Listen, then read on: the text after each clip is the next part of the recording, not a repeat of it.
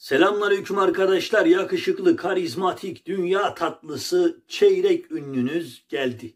Gene güzel bir videoyla karşınızdayız.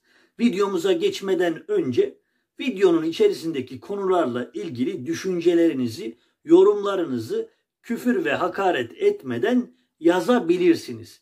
Ya da yazma imkanı olanlar yazabilirler. Diyor videomuza geçiyoruz. Araç muayenesi soyguna dönüşmüş. Evet arkadaşlar doğru duydunuz. Özelleşen muayene istasyonlarında kamyonun, otobüsün mü var?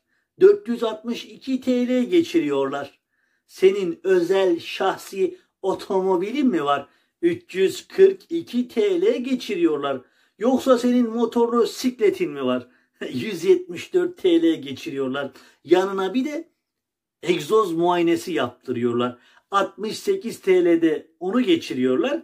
Yani otomobilin varsa 410 TL'ye seni muayeneden geçiriyorlar. Ne yani şu geçirme işini yanlışla.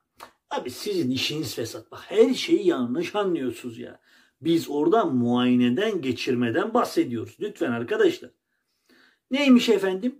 CHP Uşak Milletvekili Özkan Yalın mıymış? Ya, yamaç mıymış? He? Bu e, muayene gecikme ücretleri affedilsin diye TBMM'de bunu gündeme getirmiş. Bu bir soygunmuş. E şahsi arabası olanlar 410 TL'ye yıllık muayene yaptırıyormuş. Muayeneler 10 dakika sürüyormuş da e, bakın arkadaşlar CHP zihniyeti. Devletin kasası dolmasın diye elinden geleni yapıyor. İşte biz diyoruz inanmıyorsunuz. Ya kardeş sana ne oluyor ya? Sana ne oluyor ya? Sana ne? Millet memnun. Millet 18 yıldır oy veriyor. Ha? 18 yıldır zamcıklıyorlar. Sesini çıkarmıyor. Seni ne rahatsız ediyor? Sayın CHP milletvekili Özkan Bey. He? Kartal'a 30 bin TL para istemesini biliyorlar. Doğan mıdır, Tofaş mıdır, nedir? He? Sağı solu çürümüş arabaya. Ya Honda S 2000 miymiş? 2 miymiş neymiş?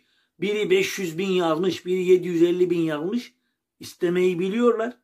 Muayeneye geldiği zaman e, muayene ücretleri. Niye la? 500 bin TL'lik arabayı 100 liraya mı muayene yaptıracağız? He? 7 bin liralık arabaya 30 bin lira istiyoruz. 400 lira muayene ücretine geldiği zaman o çok pahalı. Yok öyle 30 bin isterken problem yok. Muayene ücreti verirken problem oh iyi oluyor size. İyi oluyor. Daha beter olsun. Daha en az bin lira olmalı. Ya abi Tofaş 30 bin lira. Ben 30 bin lira Tofaş'a veriyorsam muayeneye bin liraya girmem lazım. Düşündürücü. Mardin'in Midyat ilçesinde HDP'li 3 meclis üyesi HDP'den istifa ederek AKP'ye geçiyor. HDP'de aradığımızı bulamadık diyor. Acaba ne aradız da bulamadız? Düşündürücü.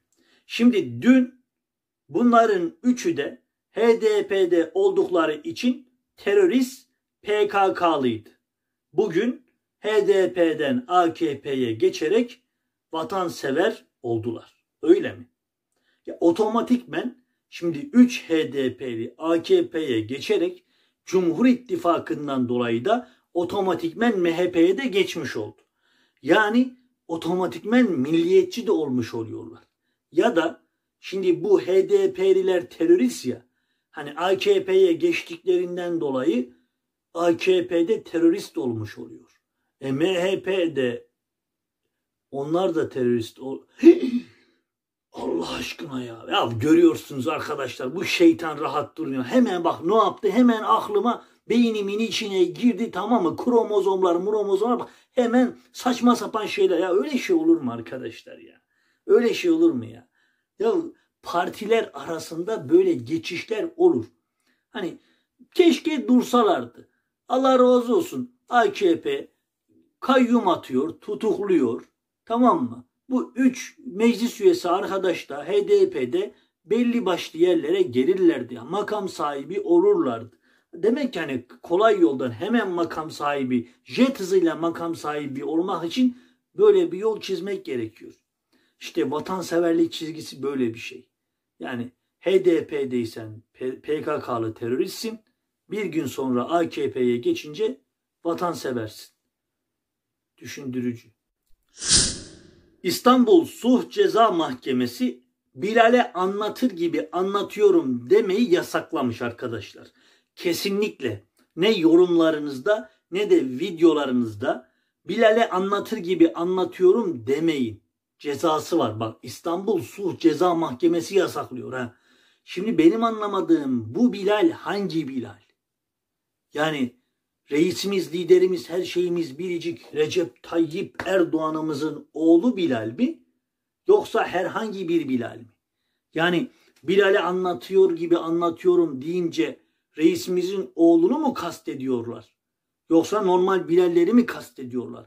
Yoksa ülkemizde bütün Bilal isimleri iptal edildi de bir tek reisimizin oğlunda duruyor. Ondan dolayı otomatikmen reisimizin oğlunu söylemiş oluyorlar diye bir şey var da biz mi bilmiyoruz? Yani düşündürücü. Ha bu arada Emine'nin çantası demek de yasaklanmış haberiz olsun. Ona da artık başka bir şey bulursunuz. 24 bin TL maaş alan milletvekillerinin yabancı dil kurslarının yüzde ellisini bütçeden karşılayacağız. Yani bizim cebimizden, bizim vergilerimizden ödeyeceğiz. Bu bile ekonominin ne kadar kötü olduğunu gösteriyor arkadaşlar. Bu cefakar, bu fedakar, bu sabahtan akşama kadar mecliste uyuyan, zorluk çeken milletvekillerinin normalde o kurs ücretlerinin hepsini ödememiz gerekirdi. Bu milletimizin vergileriyle ödensin, o milletvekilleri rahat etsin diye elimizden geleni yapmamız gerekirdi ama ekonomimiz maalesef kötü durumda. Ancak yüzde ellisini ödeyebiliyoruz. Ne yapalım? Ya arkadaş Normalde bu milletvekilleri eğitimli olması gerekmiyor mu? He? Hani milletvekili eğitimli olacak ki hani eğitimsiz olanlara iş imkanı sağlasın, yardım etsin, onlara öncülük etsin. Hani onları temsil etsin. Ulan bu milletvekilleri eğitimsiz la. Yani e, eğitimliler sağda solda sürünüyor, eğitimsizler milletvekili oluyor. Sonra da bu Türkiye çağ atlayacak. Düşündürücü. Bilgi Teknolojileri İletişim Kurumu e-mail düzenlemesini değiştiriyor. Yurt dışından almış olduğumuz telefonlarda bir harç ödüyorduk. 1800 TL. Bu değişiyor. Artık sadece telefonları kapsamıyor. Neyi kapsıyor? Kahve makinesini, buzdolabını da kapsıyor. Onlara da e-mail geliyor. Onlar içinde Türkiye'ye getirdiğinizde 800 küsür TL harç parası ödemek zorunda kalacaksınız. Bununla da yetmiyor. Bir de bu operatörlerden almış olduğunuz telefonlar var ya, ha işte onların da borcunu ödemezseniz telefonlar otomatikmen kapanıyor, arama yapmıyor. Onun dışında 7 yıldır kullanılmayan telefonlar kara listeye alınacakmış. E bu telefonlar arama yapmayacakmış otomatikmen işte bu mail kopyalama işi de iptal olacakmış. Yeni düzenlemeler neyi gösteriyor? Zamcıklamak bu milletimizi mutlu ediyor. Düşündürücü. Reisimiz, liderimiz, her şeyimiz, biricik Recep Tayyip Erdoğan'ımız Kars'ta baraj açılışında bir konuşma yapıyor. Konuşmasında diyor ki reisimiz, Türk ekonomisini diyor dünyanın ilk 10 ekonomisi arasına sokmamıza hiç olmadığımız kadar yakınız diyor. Ülkemizi diyor bu hale getirmek için diyor 18 yıldır diyor çalıştık diyor. Aynı reisimiz 5 dakika sonra ekonomideki toparlanma sinyalleri oldukça yüksek geliyor.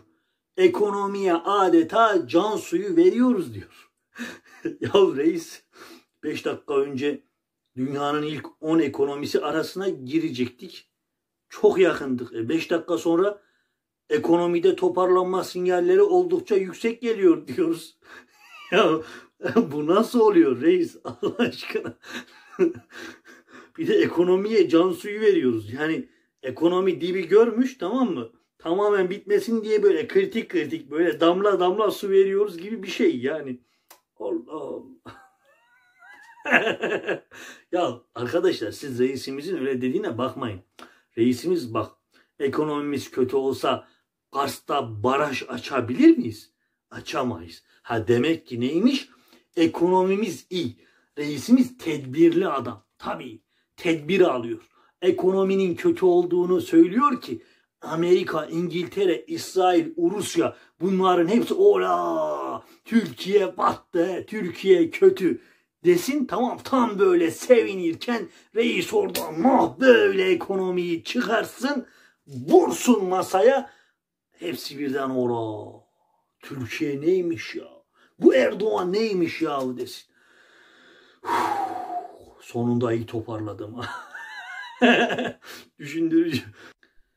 AKP Merkez Yürütme Kurulu toplantısında Ayasofya'nın ibadete açılma tarihinin 15 Temmuz olacağı konuşulmuş. Hani karar verilmemiş, konuşmuşlar.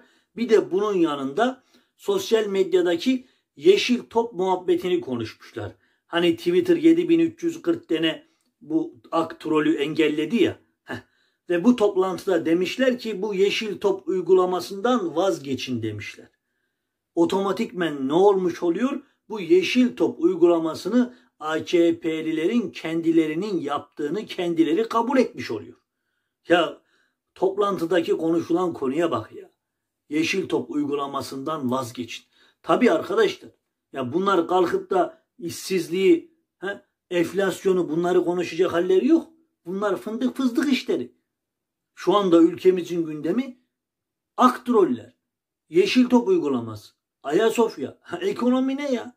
Arkadaşlar bak reisimizin bizim ülkemizin başında olması zaten ekonomimizi ne kadar yükseltiyor görün. Ya ekonomimiz o kadar kötü olsaydı heh, biz saray yapabilir miydik? Yapamazdık. Reisimiz dokuz kat zırhlı makam arabalarına binebilir miydi? Binemezdi. Ya müftünün altına kalkar da o bir milyonluk arabayı verebilir miydik? Veremezdik. Yani Bunlar bizim ekonomimizin iyi olduğunu gösteriyor. E sen işsiz kalmışsın. E kalabilirsin. Herkes işsiz kalıyor. Ben de işsiz kalabilirim. Herkes işsiz kalıyor. Ne yani sen işsiz kaldın diye ekonomi kötü diye mi işsiz kaldın? Hayır arkadaşlar ne alakası var? Senin patronun ekonomiyi yönetememiş. Senin patronun batmış. Burada reisimizin suçu ne? Reisimizin iki elini bağlamışlar. Yani Cumhurbaşkanı çaresiz. Sağdan Turum saldırıyor, soldan Putin saldırıyor. Ortadan İsrail. E ne yapacak adam? Dünyayla mücadele ederken bir de kalkıp senin işsizliğinden mücadele edecek? Lütfen arkadaşlar. Düşündürücü. Evet arkadaşlar bize ayrılan sürenin sonuna gelmiş bulunmaktayız. Dinlediğiniz için teşekkür ediyorum. Bir kusurumuz olduysa affola. Hakkınızı helal edin. Şöyle bir durum var arkadaşlar.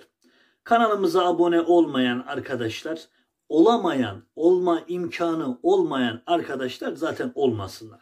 Ama olma imkanı olan arkadaşlar olsunlar. Olmalılar. Bir önceki videomuz İmamoğlu'nun taksi plakalarıyla ilgili videosuydu. Bunu gece saat 11'de paylaşmak zorunda kaldık. Bundan dolayı gece saat 2'de 3'te bazı arkadaşlara bildirimler gitmiş. Onlar da videoyu izleyememişler. İzleyemediklerinden dolayı da bana DM'den mesaj atıyorlar. Abi video atmamışsın falan. O videoyu da attım. Aha orada link var. Oradan bakıp izleyebilirsiniz diyorum. Allah'a emanet olun.